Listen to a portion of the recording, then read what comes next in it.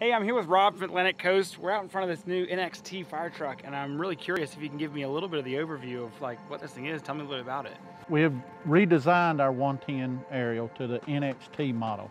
So when we were walking around the truck earlier, you showed me some of the cool things where the pump panel looks like it's inside that, almost like in a screen. How does that work? Right. What is that? So it's actually like a can system. So this is like totally automated, right? Like you Uh, pretty much totally. get out and mash You it. have you actually have a pump panel in that compartment, a pump panel up on the turntable, and then a pump panel on the right side rear compartment. So when you look at this truck, what's some of the stuff like, you know, I was working with you earlier, we got to set it up and kind of set the aerial and that sort of thing. How long is the aerial and what's unique about this aerial that's kind of different from other stuff in the market? So most aerials on the market, they have certain areas that they can't operate off of.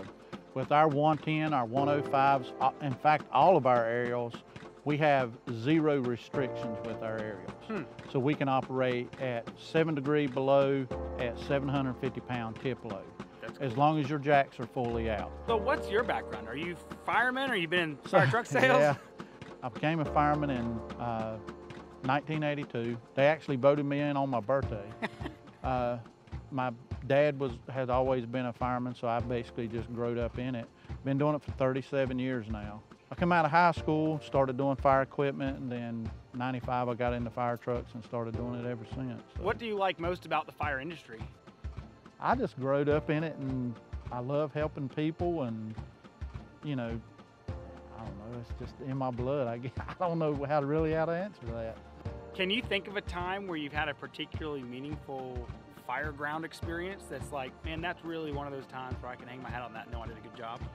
Yes, uh, it's pretty easy. Uh, 1996, uh, we had a house fire, pulled up, and this is Christmas Eve.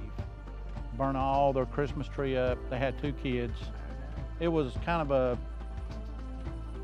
not a great neighborhood, um, and all my guys, we got together and gave them every bit of the money that everybody, ever all the firemen had out there, and it just made their day.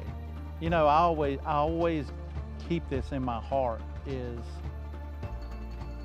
you always have pride in what you do, no matter what it is. Hmm. Whether you cut grass, whatever you do, you have pride in what you do. Yeah. And the same goes with the fire service.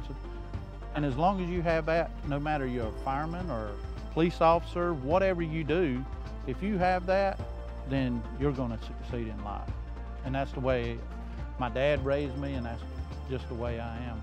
Well, man, I really appreciate you being out here and showing me the truck tonight and spending sir. time with us and, and all of our FireTech family. Thank you so much for having us, and we'll look forward to seeing you around the industry for years to come. Heck yeah. Excellent. Thank Good you, seeing you. Yes, sir. Thank you.